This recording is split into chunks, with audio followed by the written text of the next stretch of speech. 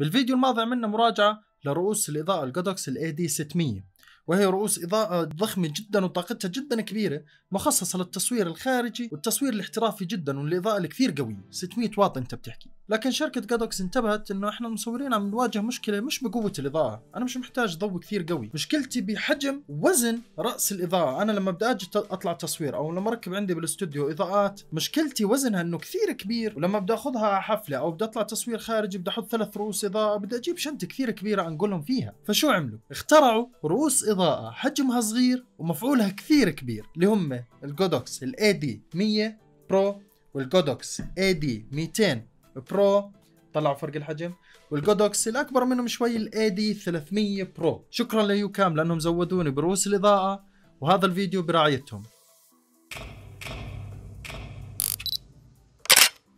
نبلش أول شيء الفروقات بينهم اللي هو الحجم. تقريبا ال AD 200 وال AD 300 تقريبا نفس الحجم يعني مش هالفرق الكبير لو بدك تحسبهم أنت تقريبا نفس الشيء لكن الفرق إنه ال AD 200 بيجي مستطيل وال AD 300 بيجي أسطواني مدور. لكن اللي فعلا حجمه كثير صغير اللي هو ال AD 100 طلع يا حبيبي حرفيا قد حجم علبة البيبسي 350 ملي طلع ما أصغره. هذا فعلا كثير صغير. هلأ الفرق بينهم غير الحجم القوة اللي هو ال AD 100 100 واط ال AD 200 200 واط وال 300 300 واط. فال 200 أقوى من ال 100 تقريبا الضعف يعني ب stop وال 300 أقوى من ال 200 بنص stop تقريبا إحنا بنحكي. هلا في شغلة كمان بدنا ننتبه لغير موضوع الحجم. ال AD 100 وال AD 200 إذا بدنا نركب عليهم light modifiers في adapter بيجي معهم بالشنطة بتركبه على آه، راس الفلاش وعلى ال stand وبتحط عليه umbrella لكن إذا بدي أركب عليه light modifier softbox أو reflector أو beauty dish إلى آخره راح اضطر أجيب adapter خاص يتركب على الفلاش Bowens mount ويتركب عليه ال light modifier هذا بالنسبة لل AD 200 وال AD 100 لكن بالنسبة لل AD 300 منه في بيجي راسية اللي هي ال Godox mount بتركب عليه beauty dish softbox لكن مش Bowens mount بدنا ننتبه في فرق بين الاثنين. ال Bowens mount بتيجي الراسيه تاعته أنحف ثلاث شحطات نحيفه مش عريضة زي ال Godox mount فهون أنت شوي بتفرق معك بالنسبة لل light modifiers بدي أجرب مثلا الفلاش لما آجي أنا أستخدمه أول مرة. كم أخذ وقت لحتى صار جاهز أستخدمه كمان مرة؟ فمثلا على ال AD 300 Pro مكتوب إنه بده ثانية ونص تقريبا فإنه بضرب بدي أستنى ثانية ونص عبين ما يرجع يشحن. ال AD 200 على الموقع بيحكوا إنه بده 1.8 من الثانية. وال AD 100 Pro بده ثانية ونص. فصار جاهز للاستخدام. هذا الإشي بنسميه recycling time كل ما كان أسرع كل ما كان مريح لك للشغل بدل ما تستنى على الفلاش عبين ما يعبي. طبعا ال recycling time هلأ أنا اللي جربته لما تكون الفلاشات على أقصى طاقة لها يعني full power يعني 300 Pro عم بيعطيني ضربة ب 300 واط 200 100 واط إلى آخره. تمام؟ لما ننزلهم للنص أكيد راح يختلف الوقت. فهلأ أنا بدي أعمل test أنا شابكهم على trigger كلهم على trigger واحد مشان لما أكبس هون test يضربوا ثلاثة مع بعض ونشوف مين اللي بيعمل recycle أسرع. ف 3 2 1 هذا بعدين هذا بعدين هذا للتأكيد الأصوات أنا راح أحط timer قدامكم على الشاشة مشان تعرفوا مين اللي خلص أسرع. فأنا حاطهم full power ال AD 100 واحد على واحد وال AD 300 واحد على واحد. test 3 2 1 هذا جهز أسرع من هذا. okay؟ ما بعرف قد إيه الفرق بينهم بالضبط. آه قدامكم على الشاشة راح ابين هلا بدي أجرب بين ال AD 100 وال AD 200 3 2 1 آه في فرق في فرق بينهم. هلا بكل الاحوال مش هالفرق الشاسع جدا. يعني يفضل كل ما كان أسرع كل ما كان احسن لشغلك زي ما حكينا. زي ال AD 600 Pro. ما شاء الله ذاك 0.9 جزء من الثاني أسرع منهم كلهم. مشان هيك تكلفته عالية جدا بتكون. طيب لي أنا عندي الفلاش صار جاهز وبديش أستنى ثانية ونص أو ثانية فاصلة ثمانية. بدي أخليه أسرع. شو الحل؟ الحل إنك تخفض قوته. بدل ما يكون full power تخليه للنص أو للربع مثلا وترفع آيزو أو توسع الفتحة حسب الكاميرا اللي موجودة عندك أو الإعدادات اللي عندك. فأنا هلأ خفضت طاقتهم للنص. okay؟ فالمفروض إنه ال recycling time تاعهم يصير أسرع. فنجرب. 3 2 1 wow! تقول ضباط أعطوا الأمر مباشرة. سريع جدا. كمان مرة بس. كلهم بنفس الوقت عبوا. يعني أنا بس خفضت طاقتهم للنص. يعني ال 200 AD 200 خليته يعطيني فلاش بقوة 100 واط. ال 300 خل... نزلته ل 150 وال 100 نزلته ل 50 فأنا نزلت القوة وبوقت التصوير برفع ايزو أو بفتح عدسه زي ما حكينا لكن ال recycling time رهيب صار. طلعوا؟ صاروا جاهزين. أتوقع ثانية. ما بعرف قد إيه طلع عندكم ال timer قدامكم. فهاي التجربة سريعة لل recycling time للثلاثة. وشو ممكن انت يفيدك لشغلك. هسه بدي اعمل تجربة لل modeling light. شو ال modeling light؟ اللي هو ضوء مستمر انت قدام عينك تقدر تشوفه. هو بيساعد انه انت تشوف شكل الظلال على الوجه مثلا قبل ما تصور باستخدام الفلاش. فمثلا أنا بقدر هلأ أشوف على وجهي إنه مثلا كيف راح يطلع شكل الظل على وجهي. وبس أستخدمه راح يطفي هذا الضوء ويضرب الفلاش بداله. فال modeling light صراحة هو إشي مريح للشغل يفضل يكون موجود عندك بالفلاش. بس بدي أحكي على ملاحظة صغيرة قبل ما أشرح عن ال modeling light على ثلاث إضاءات. هلأ بالنسبة لل Godox AD 200 بيجي معاه راسيتين بتركبوا على نفس الفلاش. في راسية بتيجي عدسة تعمل zoom نسميها Fresnel lens وفي ال bare bulb اللي هي لمبة لحالها هيك بتيجي. بنقدر نشغلها عليه. اللمبة لحالها ما فيها modeling light فأنت إذا بدك تستخدم ال modeling light على ال AD 200 Pro يفضل إنك تركب الرأسية العدسه مش اللمبة لحالها. أو ممكن هذول الثنتين موجودات بالشنطة. أو ممكن إنك توصي إكسسوار ثاني رأسية ثانية تيجي دائرية وفيها modeling light تقريبا زي على ال AD 100 Pro. فأنا هسه بهدف الشرح بدي أفك هاي الرأسية بدنا ننتبه. بنكبس على هاي الكبسة اللي على الجنب وبرفع الرأسية لفوق. هيك بتفك معي هيك فكت. ونفس الإشي التركيب اللي هو العكس. باجي بركب رأسية العدسة زي هيك بكبسها لجوا وبتصير شغالة. ولاحظوا هاي فيها modeling light هلا ال modeling light صراحة على ال AD 200 هلا بس نيجي نعمل مقارنة هو أضعف واحد. فهلا خلينا نشوف شو راح يفرق معنا بالشغل. فمشان نعمل مقارنة واضحة لل modeling light على رؤوس الإضاءة أنا مضطر أطفي رأس الإضاءة الرئيسي اللي عندي ونجرب مثلا ال modeling light اللي على ال AD 200 Pro. هلا صراحة ضعيف جدا على ال AD 200 Pro. يعني تقريبا إحنا بنحكي إعدادات الكاميرا عندي shutter 1 على 50 لأني بصور فيديو آيزو 800 وفتحة 4 فيعني مش إشي كثير wow بس إنه قادر مثلا أشوف شكل الظلال على وجهي إنه أنا مثلا مضوي split هيك مثلا أو Rembrandt لكن أنت صراحة ما راح تستخدم رأس الإضاءة لحاله معظم الوقت راح تستخدمه مع light modifiers زي ال umbrella زي ال softbox إلى آخره. لكن هون في مشكلة إذا أنت بدك تستخدم light modifier يفضل إنك تستخدم رأسية اللمبة ال bare bulb لأنها بتوزع الإضاءة بشكل متساوي على كل ال umbrella. لكن هون الرأس هذا ال zoom أو العدسة ال Fresnel lens بس أركب عليه ال umbrella. خلينا أطفي الضوء الرئيسي. راح تنتبه إنه الإضاءة بس موجودة على نص ال umbrella تقريبا مش موزع عليها بالكامل. شايفين كيف؟ فبصراحة هذا ما راح يفيدنا كثير. طلع الشكل الغريب كيف لراسية الفلاش عم بيطلع بال umbrella. فمشان هيك ال AD 200 هاي أنا بعتبرها سيئة. انه ال modeling light فيه ضعيف صراحة. وإنه بتصفي أنت بدك تقرر هل أنت محتاج modeling ضعيف أو راسيه zoom للتصوير الخارجي مثلا. أنت آه بدك عدسه تعمل zoom للضوء يجيب مكان بعيد. أو أنت بدك تصور داخلي وبدك تستخدم light modifier softbox أو umbrella وقتها بتحتاج الراسية اللي عليها اللمبة. لكن هاي إضاءتها راح تكون أضعف شوي. لأنه هاي عبارة عن عدسة بتجمع الضوء وبتركزه على مكان بعيد. ليش أنا بقول كل AD 200 ضعيف ال modeling light عليه؟ خلينا نقارنه مثلا بال AD 100 أخوه الصغير. خلينا انسوا الموضوع اللون. إحنا بنحكي بس عن قوة الضوء. اطلعوا الفرق. خليني أطفي الضوء الرئيسي اللي عندي بالاستوديو يعني ال AD 200 ولا شيء جنب ال AD 100 طلعوا ما اضعفه كثير ضعيف. هلا ال modeling light على ال AD 100 قوته 1.8 واط. فهو ممتاز. يعني بقدر أشوف حتى لو ركبت عليه umbrella بقدر أنا أشوف كيف شكل الإضاءة راح تطلع على وجهي. مع إنه كثير ضوء صغير وضعيف لكن بقدر أنا أشوف كيف شكل الإضاءة على وجهي. خليني أطفي بس ال AD 200 فأنا قبل ما أستخدم الفلاش مثلا مبين إنه مثلا مضوي إضاءة ناعمة و split على وجهي. هلأ موضوع اللون البرتقالي هذا modeling light هو فقط منظر هذا الضوء.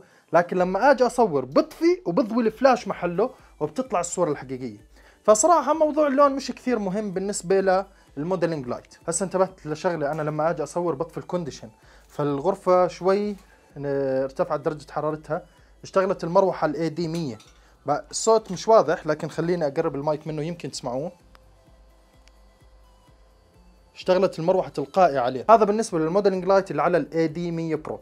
نروح هلا لل AD 300 هلا بالنسبة لل AD 300 ال modeling light اللي عليه لونه أبيض وقوته 12 واط تقريبا. فلما أشغل ال modeling عليه راح تشوفوا الفرق فورا. طلع ما أقوى. خليني أطفي ال key light الضوء الرئيسي اللي عندي. هون إحنا بنحكي عن 12 واط. هذا بدون softbox ولا شيء لكن لو ركبنا عليه umbrella يليه ممكن نستخدمه ضوء فيديو صراحة عماني. آه، ما بعرف القرار لك. يعني أنا مثلا الضوء أنا بقدر هذا أصور هلأ في فيديو لأنه الضوء اللي عندي على الخلفية قوته 30 واط وكثير بعيد. هذا كثير قريب مني بس عم بيعطي مفعول كثير قوي وبدون umbrella ولا شيء لكن لو أركب عليه umbrella يعني شوفوا مع ال umbrella تحس إنه ضوء continuous لتصوير الفيديو. يعني هيو هلأ حتى ظابط معي على الفيديو ال shutter 1 على 50 ايزو 800 فتحة 4 بقدر أكمل الفيديو وأنا بستخدم ال modeling light تاع هذا ال flash ال AD 300 Pro فأتوقع هاي المقارنة كافية وواضحة حتى تشوفوا تأثير ال modeling light بالشغل. وللتأكيد هاي ال modeling light تاع ال AD 200 هاي خليني أشغله. لا يقارن ضعيف جدا بالنسبة لل AD 300 ولل AD 100 Pro في كمان شغلة نسيت أحكيها إنه ال modeling light بال AD 300 وال AD 100 ممكن تتحكم بدرجة قوته من 1 ل 10 ممكن تخليها 2 3 5 10 على 10 اللي هو أقوى شيء فيه. خليني أشرح شوي عن واجهة المستخدم كيف نستخدم الجهاز. هلا أنا ما راح أشرح عن كل واحد منفصل لحاله لأنه تقريبا كلهم نفس الكبسات عليهم ونفس الأيقونات فما راح تتوه بينهم. على السريع خلينا نحكي إنه مثلا هاي الكبسة البيضة اللي عليها إشارة الفلاش عليهم ثلاث اللي هي اللي بتعطي ال test يعني لو انت مشغل الضوء وبدك تعمل test للإضاءة بتكبسها بيعمل test. والكبسه السوداء اللي عليها شكل اللمبة اللي هي ال modeling light فأنت لما تكبسها هيك بيشتغل ال modeling light على كل ضوء فيهم. والكبسه اللي عليها كلمة mode اللي هي بتغير بين ال manual وال multi وال ETTL. والثلاث رؤوس بدعموا ال multi shooting وال ETTL. هسا خلينا نحكي كيف بدنا نشبك رؤوس الإضاءة على trigger خارجي. بداية بدك تشغل اللي هو الاتصال اللاسلكي عن طريق هاي الكبسة اللي عليها شكل الواي فاي فبتكبسها هلا هيك طافي.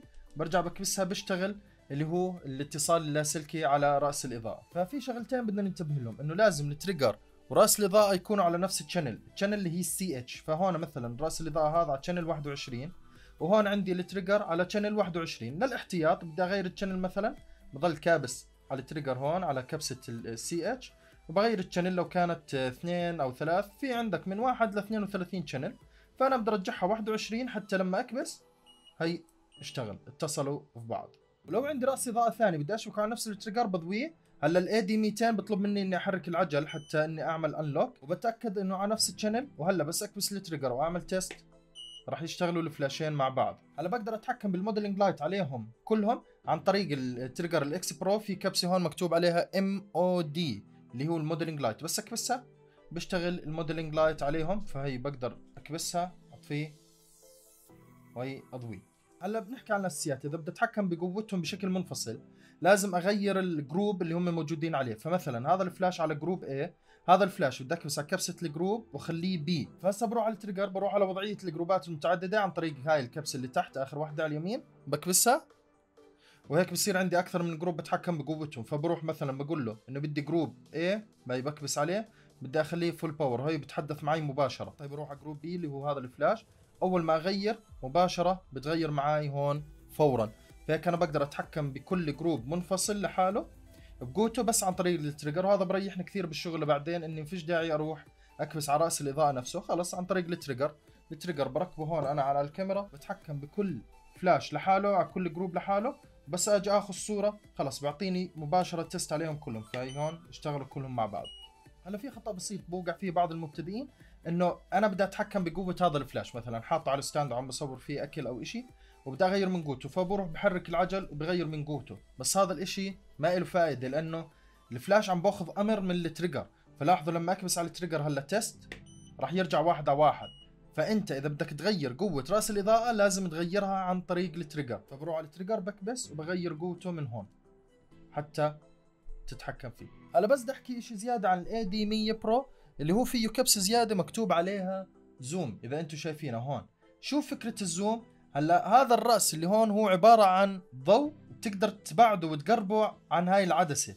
فأنت بتقدر تتحكم بال zoom تاعه هي بدي أكبس عليها شوف شو راح يصير بالضوء من جوا. بس اكبس عليها. أيوه هي يعمل zoom أكثر مثلا. هاي أبعد أبعد أبعد.